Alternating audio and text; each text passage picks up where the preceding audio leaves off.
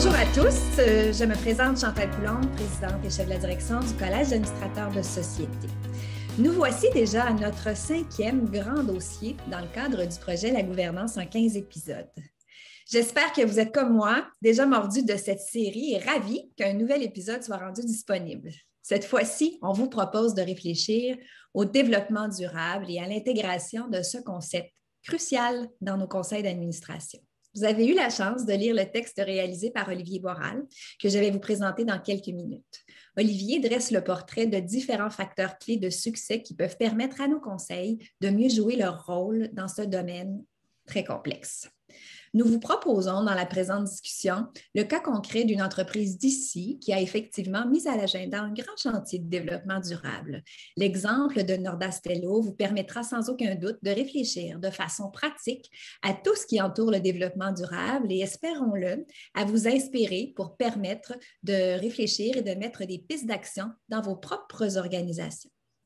Permettez-moi de vous présenter Olivier Boral, intervenant au collège à notre certification universitaire.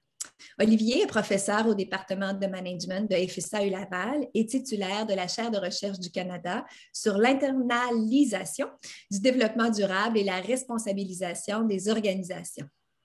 Ouf, quand même complexe. Il est également responsable du programme de deuxième cycle en responsabilité sociale et environnement des organisations de l'Université Laval. Ses principaux domaines de recherche portent notamment sur l'intégration du développement durable dans les organisations, les normes internationales de gestion dans ce domaine et la divulgation d'informations sur la responsabilité sociale et environnementale. Olivier a publié plus d'une centaine d'articles ou de chapitres d'ouvrages sur ces questions importantes, alors n'hésitez pas, googlez son nom et vous pourrez trouver encore plus d'informations si vous le souhaitez. Olivier échangera aujourd'hui avec Alex Risson, ASC, Alex est devenu président et chef de la direction de Nordastello à l'été 2013. Il a ensuite entrepris une restructuration majeure de l'entreprise afin de mettre en place une structure organisationnelle plus agile et efficace, tout en établissant les plus hauts standards d'éthique et d'intégrité dans son organisation. Alex est titulaire d'un baccalauréat en génie électrique et d'une maîtrise en administration des affaires. Il faut savoir qu'il a joint Nordastello en 1993 initialement responsable euh, de projet. Il a gravi, comme vous le constatez, très rapidement les échelons jusqu'à obtenir le poste de PDG. Alex est membre du conseil d'administration de Nordastello depuis plusieurs années maintenant et il est aussi un des principaux actionnaires qui a permis le rachat de la société en 2005. C'est aussi Alex qui a dirigé le récent rachat de la direction en 2019, pardon, par la direction en 2019. Ceci a donné à Nordastello et à son groupe d'actionnaires employés la capacité de déployer son plan stratégique visant à devenir un partenaire hautement compétent pour ses clients. Alex a d'ailleurs toujours eu à cœur le développement durable et il a mis les choses en place avec son équipe pour que ce concept puisse devenir l'objet d'un projet concret et s'inscrire dans l'ADN même de Nordastello, ce dont nous entendrons parler aujourd'hui. Alors, Olivier, Alex, je vous laisse la parole. Merci. Euh, merci, Chantal. Merci beaucoup, Chantal. Alex, merci d'avoir accepté cet euh, entretien. Je pense que Nordastello est un cas extrêmement intéressant, euh, d'abord par l'activité euh, d'ingénierie, donc vous êtes vraiment dans du concret et aussi impliqué dans de nombreux secteurs d'activité qui sont stratégiques, qui sont clés pour le développement durable, les infrastructures, le transport, la maintenance d'équipements. Et aussi, Nordastello, la particularité, c'est complètement réinventé je dirais, au cours des, dix dernières années pratiquement. Euh, elle a traversé une sorte de purgatoire, euh, tu pourras éventuellement en parler, mais elle a été impliquée dans l'affaire de, la commission Charbonneau et elle a complètement réorganisé ses activités, réorganisé son approche. Chantal parlait de l'importance de l'éthique aujourd'hui. et il y a aussi le concept de développement durable qui, est de plus en plus important. Et je crois que tu as vraiment porté ce concept. Euh, la première question que j'aimerais te, poser, c'est qu'est-ce qui t'a motivé euh, vraiment à t'engager aussi fortement euh, par rapport aux questions de développement durable? Ben, je dirais que dans un premier temps, merci Olivier en, passant, toujours un plaisir de discuter avec toi. initialement, ben, c'est la survie. Donc, comme tu as mentionné, on a eu une période de purgatoire. Aujourd'hui, on est connu sur le nom de Nordastello, mais auparavant, c'était le nom de Roche. Donc, euh, les, gens au Québec ont toujours euh, ont, déjà une idée de ce que c'est Roche, de ce que c'était Roche. Et pendant sept ans, on a eu à gérer des crises. Euh, lorsque j'ai suivi mon collège d'administrateurs, on nous a énuméré les différentes crises potentielles à lesquelles un gestionnaire pouvait ou un conseil d'administration. Je crois qu'on les a tous vécues. après sept ans, ben, ce qu'on a fait, il a fallu se réinventer dans un premier temps pour survivre et de se définir un nouveau futur. Et c'est à ce moment-là que basé sur la culture d'entreprise euh, sur laquelle on a misé vraiment pour le futur, on a réussi à définir notre nouveau purpose, notre nouveau why de l'entreprise. Comment on l'a fait? Et euh, dans un premier temps, on a, on a mis le client et les employés au centre de la table et on a réfléchi à savoir comment, euh, comment on pourrait être une valeur ajoutée dans le futur au niveau de l'organisation. Tout ça, c'est fait avec le conseil d'administration, en collaboration avec le conseil d'administration et la direction. Donc, en 2019, euh, on a impliqué tous les gestionnaires euh, de l'organisation ainsi que nos administrateurs présents à ce moment-là euh, pour redéfinir notre plan stratégique.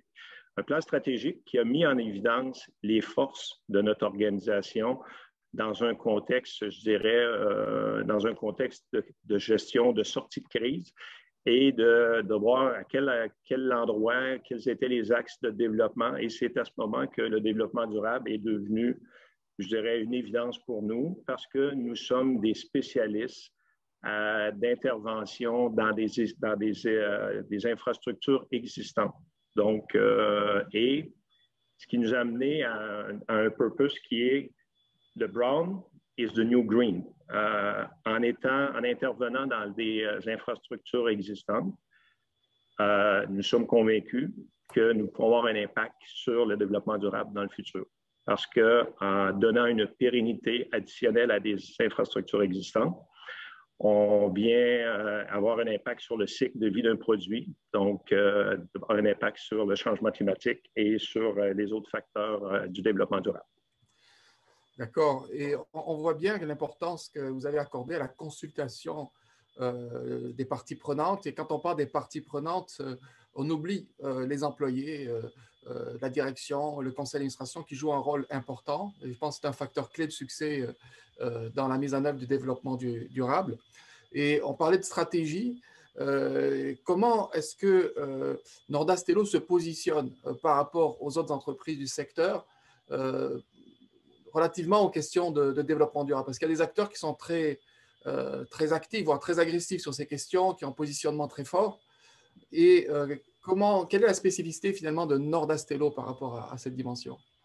Je dirais, euh, Olivier, que le développement durable est apparu dans le vocabulaire des firmes d'ingénierie à la fin des années 2000, où chacun utilisait à, à toutes les sauces euh, le terme développement durable, euh, mettait sur son site web, euh, mettait dans, ses, brochures, mais sans avoir vraiment un impact ou une, conviction de ce que c'était le développement durable. L'évolution qui s'est faite par la suite, on a orienté le développement durable sur de nouvelles infrastructures. Donc aujourd'hui, lorsqu'on parle d'ingénierie, on parle de construction, d'architecture, la, thématique développement durable, elle apparaît au quotidien, mais on est toujours dans des, dans des nouvelles infrastructures. De notre côté, où on a vu vraiment la différence et qui est, qui est vraiment notre ADN aussi, étant donné que nous travaillons dans des infrastructures existantes basées sur des partenariats long terme avec des clients, ben, pour nous, ça devenait évident que le développement durable pouvait passer à travers des installations existantes, donc le brownfield. Et à ce, et à ce niveau-là, dans le marché, il y a il y a à peu près personne qui, qui, va, euh, qui a un discours de développement durable rattaché à des infrastructures existantes. On en parle toujours au niveau de nouvelles infrastructures. Donc, c'est vraiment là qui est notre, notre euh, élément différenciateur. Mais comme tu as mentionné tout à l'heure, c'est euh, aussi c'est la, la, communication, les échanges avec les différentes parties prenantes de notre organisation, autant nos clients que nos employés, qui nous ont amenés à, à faire cette, ce constat-là. Oui, puis c'est intéressant de, noter qu'on parle beaucoup de cycle de vie du produit, mais euh, peu encore euh, de cycle de vie des infrastructures. Effectivement, Nordastello semble avoir une, expertise particulière euh, dans ce domaine-là. Et il m'apparaît qu'une des forces, en tout cas, de, cette approche, ça a été vraiment de capitaliser sur les, justement sur les forces, sur l'ADN, comme tu disais, de Nordastello dans sa démarche de, développement durable. donc vraiment une démarche très, on dirait, bottom-up, hein, de la base vers le sommet. et moi, je serais curieux de savoir quelle a été l'attitude du conseil d'administration par rapport à, toutes ces questions. on sait qu'un conseil d'administration, c'est pas non plus quelque chose de monolithique. il peut y avoir des gens qui appuient, d'autres moins. Et peut-être qu'il y a des éléments là qui peuvent être confidentiels. Moi, je ne fais pas partie du conseil d'administration, je n'ai pas accès à une information particulière à ce niveau-là. Euh, mais s'agissant d'une formation pour administrateur, je serais curieux de savoir quelle est l'attitude du conseil d'administration par rapport à ces questions de développement durable. Le fait d'avoir impliqué euh, les administrateurs à notre euh, élaboration de planification stratégique, ils sont venus à différentes étapes dans le processus, a aidé à faciliter aussi la, nouvelle vision de notre organisation. Donc, euh, première étape, c'était vraiment de les impliquer. Euh, leur consultation nous a aussi amené, parce qu'on a des administrateurs avec un, grand bagage d'expérience qui ont œuvré dans différents secteurs d'activité, nous a amené vraiment à avoir une vue 360 de ce que pourrait être le développement durable pour une organisation comme la nôtre. C'est sûr que par la suite, euh, et un peu ce que tu mentionnes dans ton article, il y a, beaucoup il y a eu beaucoup de greenwashing relativement au développement durable. Donc, beaucoup de, de mots, beaucoup d'expressions, mais de façon concrète, comment on implante une stratégie de développement durable dans une organisation, ça, c'est plus difficile. Et c'est à, ce, niveau que notre conseil d'administration nous a aidé grandement en, nous demandant de mettre en place des jalons et aussi des indicateurs à savoir comment on part du concept de développement durable jusqu'à son implantation et au suivi, je dirais, périodique des conseils d'administration. On a, on a du reporting à faire, à savoir où nous en sommes rendus dans l'implantation de notre modèle. Meilleur exemple, notre prochain conseil d'administration qui aura lieu en avril, il y a un sujet thématique, euh, développement durable, chez nous, qui est la durabilité des actifs, où nous en sommes dans notre modèle de durabilité des actifs. Donc, reporting, échange, mais beaucoup d'ouverture et on garde de, façon euh, aussi euh, commune et constante à tous les conseils d'administration avec un suivi de ce, qui est, de ce qui est fait en progression. Les clients, on a fait beaucoup, beaucoup de consultations auprès de nos clients. Notre modèle de durabilité des actifs de développement durable ben, ça, a été, euh, ça a été conceptuel et par la suite, avec euh, de nombreuses discussions, dont euh, avec toi et différents intervenants, ben, on a réussi à modeler et à faire évoluer notre modèle, qui fait que ben, le conseil d'administration, de façon périodique, on vient faire du reporting et nous pose des questions pour nous faire progresser dans le modèle. D'accord. Tu mentionnais le greenwashing, c'est un concept évidemment important et problématique hein, qui traduit cette contradiction qui entre les discours et euh, les pratiques euh, dans certaines organisations. Dans le cas de Nordastello, il me semble que jusqu'à présent, il y a eu relativement peu de communication sur cet axe-là, sur l'axe de développement durable, peut-être en raison de, l'historique particulière de, l'entreprise, mais une des, des, responsabilités de l'administrateur, c'est finalement de surveiller les résultats de l'entreprise et leur divulgation. Donc, on voit bien qu'il il y a de la communication avec le conseil d'administration. Au niveau de la divulgation, euh, vu de l'extérieur, euh, quand on va sur le, site de Nordastello, euh, on voit assez peu d'informations finalement. Il y en a quand même hein, sur le développement durable, mais assez peu d'informations détaillées en termes d'indicateurs, de performance, d'objectifs. Est-ce qu'il y a des projets à ce niveau-là? Oui, et tout récemment, on, a fait, on, a, on, a, implanté une plateforme numérique à laquelle on, a des balados, il y a des articles, des, euh, des, white papers et tout, et on est toujours dans la thématique de, durabilité des actifs, transformation numérique, diversité, environnement, et c'est tout. Euh, on est une entreprise B2B, donc euh, beaucoup, beaucoup de communication directement avec nos clients, différents avec nos partenaires. D'un point de vue public, pas tellement pour le moment. On veut s'assurer, bon, on a un passé à laquelle euh, on a vécu une crise de confiance importante dans laquelle on était extrêmement médiatisé, qui fait qu'aujourd'hui, notre, stratégie est beaucoup plus euh, ciblée, mais euh, avec, avec toute une stratégie, un processus de communication qui, devra, qui va s'élaborer au cours des prochains, prochains mois, je dirais, Olivier, et même les prochaines années, mais avec un modèle avec des succès. Et ce qui est intéressant actuellement, c'est aussi euh, tout l'aspect du gouvernement aussi. il y a pas plus tard que la semaine dernière, Investissement Québec présentait une initiative euh, qui était sur qui, nomme le compétiver, qui est d'améliorer la compétitivité des entreprises par l'adoption de technologies propres et des pratiques éco-responsables. Donc, pour nous, ce qui est vraiment intéressant, c'est qu'en 2019, c'est la stratégie et c'est les axes de croissance prioritaires de notre organisation.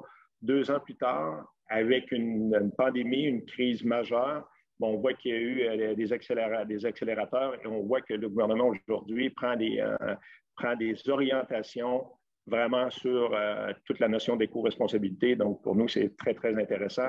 Et ça, c'est vraiment en lien avec, avec, notre stratégie. Puis au niveau communication, ben, l'exercice qu'on fait aujourd'hui, Olivier, ben, on vient exposer à un groupe restreint de personnes et c'est ce qu'on a fait au cours euh, de la dernière année, mais on vient appuyer maintenant avec, euh, avec des articles vraiment spécifiques.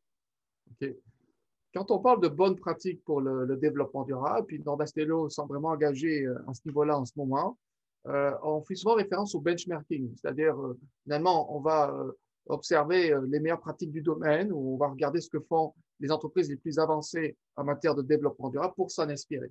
À ma connaissance, il n'y a pas eu de, benchmarking systématique avec euh, les autres entreprises sur les questions de développement durable. Par contre, il y a eu encore une fois cette consultation interne et il y a aussi euh, une démarche, euh, si je ne me trompe pas, d'adhésion à des normes internationales. Je pense en particulier à BICOR. Est-ce que tu pourrais nous en parler un petit peu et comment tu comptes gérer ça? Qu'est-ce que cette norme pourrait apporter à Nordastello? Oui, ben pour nous, le développement durable, on le voit à deux niveaux, à l'interne de notre organisation et aussi à l'externe. Lorsqu'on parle au niveau de l'interne, ben, en, faisant notre, notre, revue au niveau de la responsabilité sociétale et, euh, environnementale, on voit qu'il y a trois normes actuellement qui, euh, à lesquelles on travaille, euh, avec les gens travaillent. Il y a le, ISO 26000, il y a le, le, BNQ aussi au niveau provincial avec ses 15 principes, mais il y a aussi B Corp. B Corp qui est une organisation sur international euh, avant-gardiste. Et euh, ce qu'on a fait, on est allé analyser chacune des, euh, chacun des trois groupes et de voir lequel de ces regroupements-là pourrait être intéressant pour nous, mais en même temps mobilisateur pour nos employés, parce qu'on le voit vraiment à l'interne. Et là où on se parle, c'est vraiment la notion B Corp qui, pour nous, est le plus, le plus, le plus stimulant et le plus engageant aussi. Puis, un peu comme tu mentionnes aussi dans ton article, c'est euh, la notion de la mission d'entreprise. Donc, euh, et on est à la, réflexion de revoir notre mission d'entreprise. En 2019, on a revu notre vision d'entreprise, mais maintenant, pour avoir un statement fort, ben, il y a toute la notion de, de mission d'entreprise et c'est sur les tables, c'est sur euh, notre plan d'action pour la prochaine année, même dans les prochains mois, de revoir notre, notre mission d'entreprise qui va être le statement très, très fort qui va être fait euh, pour euh, les prochaines étapes avec, une, euh, avec un objectif de devenir B Corp. Ce qui est intéressant au niveau de B Corp, le, regroupement, c'est qu'il est toujours en évolution. si tu, le statu quo n'est pas permis, donc à partir du moment que tu embarques dans le processus, ben, tu es toujours en évolutif et tu dois toujours t'améliorer de façon constante. Donc, ça, c'est un signal très fort parce que ça va au-delà d'obtenir l'accréditation par la suite. Ben, tu as obtenu ton accréditation, tu mets ton, ton site web dans ta publicité. Tu es vraiment dans un, dans un engagement en continu qui doit être fait. D'accord.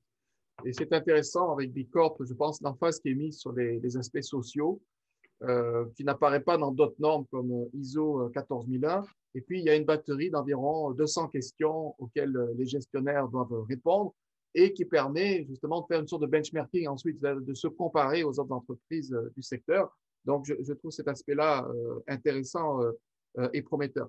Ceci dit, dans B Corp, il y a des questions très précises.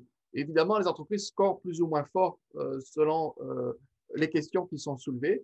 Alors, je ne connais pas toutes, ces questions en détail. je n'ai pas fait d'audit à ce niveau-là. mais il y a des questions, par exemple, qui touche euh, des, aspects essentiels, à savoir le choix et la rémunération des gestionnaires euh, en lien avec les performances, on va dire, de développement durable en matière de responsabilité sociale et environnementale. On comprend que tu es très engagé à ce niveau-là. Est-ce qu'il y a une, une démarche d'intéressement par rapport à ces enjeux qui sont couverts par Bicorp et par d'autres normes de ce type?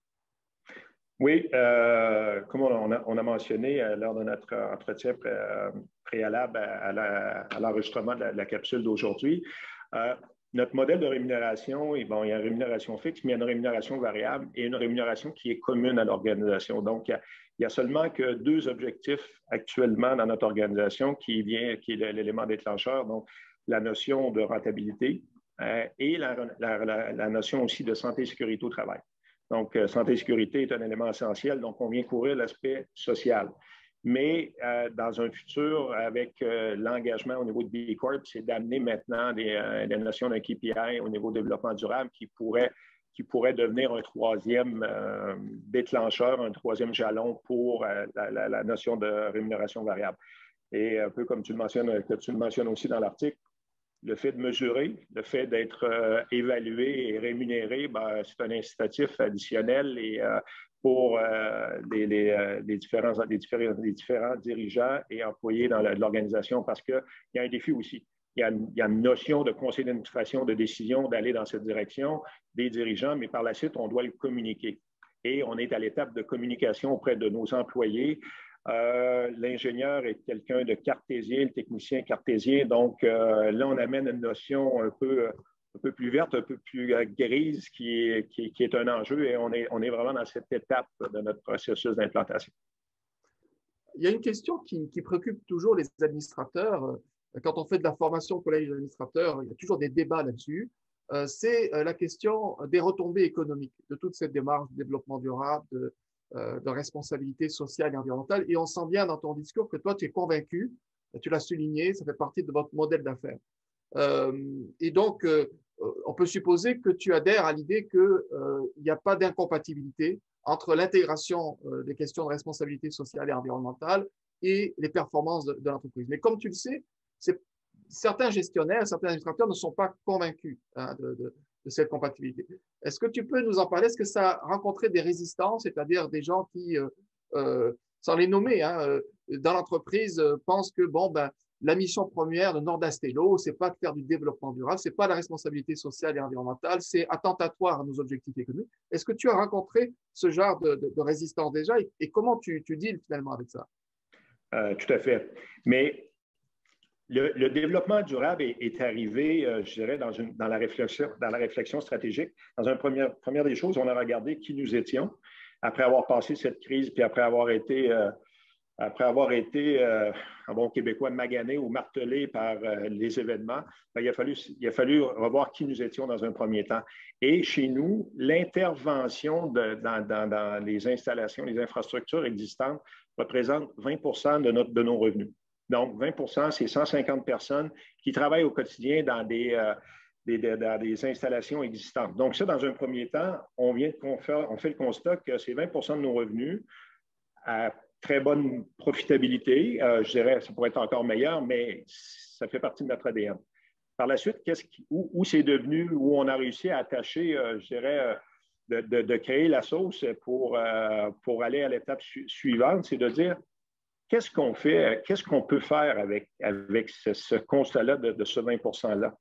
Et c'est de là que, lors de la réflexion, on s'est dit qu'en en ayant comme purpose de donner une vie supplémentaire à des infrastructures existantes, je peux avoir un, impact sur des changements climatiques à cause du cycle de vie de produit. Et, c'est là qu'on est sorti de la boîte de l'ingénieur cartésien en disant, en faisant ce que je fais au quotidien, je pourrais avoir un impact. Mais une fois qu'on a fait ça, ben, je voudrais que ça nous a pris plus d'un an et demi avant de trouver euh, la bonne recette pour pouvoir matérialiser et de l'amener au niveau de du développement durable. Et c'est avec des partenaires, c'est des petites entreprises, des startups avec des discussions qu'on a réussi à créer le fil conducteur de l'intervention qu'on fait au quotidien depuis des années. Un exemple, l'inspection du pont de Québec. Bon, ben, comment, en ayant un impact au quotidien sur l'inspection du pont de Québec, je peux avoir un impact sur euh, le développement durable?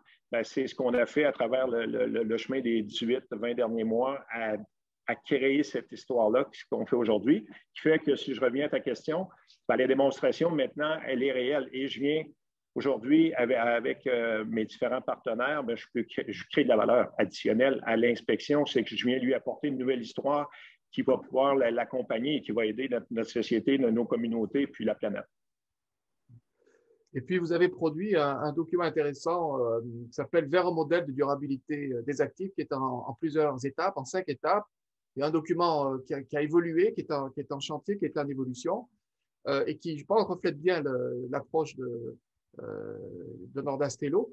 Ma question est par rapport, disons, à la formation, à la sensibilisation, à la compréhension aussi euh, de ces enjeux à l'intérieur de Norda Stello. Tu l'as dit toi-même, développement durable, c'est un terme qui est un peu galvaudé. Euh, euh, il y a eu beaucoup de greenwashing et c'est vrai qu'il y a eu beaucoup d'abus à ce niveau-là. D'où l'importance d'avoir une communication claire et de s'assurer qu'en interne, les, employés et les gestionnaires et les membres du conseil d'administration comprennent bien de quoi on parle. Et ça, c'est un sérieux défi véritablement. et parce que finalement, surtout quand on intègre ça au niveau de, commercial, hein, comme tu essayes de le faire, parce qu'on ne peut pas vendre finalement une approche si on n'a pas vraiment intégré, comprise, etc. Alors, ma question est de savoir qu'est-ce que, euh, comment tu comptes y prendre pour former, sensibiliser? Je sais qu'il y a déjà des actions euh, mises en place euh, et pour que les gens soient vraiment familiers avec cette nouvelle approche de, de Nordastello en matière de durabilité des actifs. Je vous donne un exemple très concret et, ça, résume bien l'enjeu de, communication. Il n'y a pas, plus qu'il y a deux semaines, nos deux vice-présidents ont présenté, ont on, fait des capsules auprès de nos employés à toutes les deux semaines. Donc, euh, expliquer ce qui se passe dans l'organisation, les résultats, euh, l'évolution de, différentes thématiques. Et euh, il y a deux semaines, relativement à notre modèle de durabilité, les deux vice-présidents ont fait une capsule de 30 minutes pour expliquer à nos employés qu'est-ce que c'était et quel impact, puis on, pour eux, c'était très clair. Pour moi, c'était très clair. Suite à cette capsule, euh, nous sommes actuellement en tournée virtuelle où on rencontre tous nos employés. C'est 30 rencontres de 30 minutes avec chacun de nos employés. on leur a posé la question qu'est-ce que vous en retenez? Jusqu'à maintenant, je dirais qu'à 70% c'est on n'a rien compris. Donc, euh, c'est là la rétroaction. Donc, on se dit OK, il y a des choses qu'on a bien expliquées, il y en a d'autres qu'on n'a pas expliquées, donc il faut revenir. Et, c'est vraiment c'est l'approche à laquelle on a travaillé énormément. Il y a tellement la, notion de greenwashing, de conceptuel dans notre modèle, euh, un peu comme tu as, vu, Olivier, puis tu as eu la même réaction la première fois euh, lorsque je t'ai envoyé le document par la suite, on s'est parlé et c'était plus clair, mais c'est vraiment à petits pas qu'on réussit à dénouer les, euh, les, impasses et de faire évoluer notre modèle. Donc, il n'y a pas de secret. On aimerait avoir vraiment la communication parfaite. Mais euh, aussi, encore une fois, j'ai appris avec les années que c'est avec l'approche du petit pas qu'on réussit à faire de grandes choses. Et on, est vraiment dans ce modèle-là. Donc, la bonne nouvelle, c'est qu'on est parti du niveau 1 au niveau 3. Maintenant, c'est clair pour tout le monde. Il nous reste les niveaux 4 et 5. Mais, mais ça aussi, on a parlé avec beaucoup de nos partenaires. Beaucoup. On a eu des rencontres avec des équipes de direction complètes. Et euh, ben, il y a des gens, lors de ces rencontres-là, ils ont dit, écoutez, c'est bien beau votre principe, mais euh, parce que pour nous, là-dedans, il n'y a rien. Donc, on ne comprend pas. Mais par contre, dans le groupe, il y en avait deux ou trois qui disaient Oui, nous, on vient de voir. Et donc, ce modèle a été évolutif. C'est probablement 30 ou 40 rencontres avec des clients, des associations, euh, des, différentes parties prenantes qui nous ont amenés où on est aujourd'hui. Donc, la prochaine étape, et ce qu'on réalise aussi, ça prend des exemples concrets. Donc, on est vraiment à cette étape-là. On a matérialisé les premiers dossiers. On a, intégré l'intelligence artificielle aussi. Donc, on vient démontrer par des simulations que qu'est-ce qui se fait concrètement. Et euh, la semaine dernière, ben, il y a quelqu'un que je rencontrais qui me disait Oui, ben, le port de Rotterdam peut faire la même chose que vous. Hein. Je connais un groupe en Écosse qui fait la même chose. Donc là, là on, est en on a créé l'effervescence. Et, et, là, on est à, à bien, bien cueillir les, bonnes nouvelles, les bonnes informations qui vont nous permettre d'aller à, la prochaine étape. Je pense que cet enjeu de communication est une euh, bonne façon finalement de, terminer, de conclure euh, cet entretien.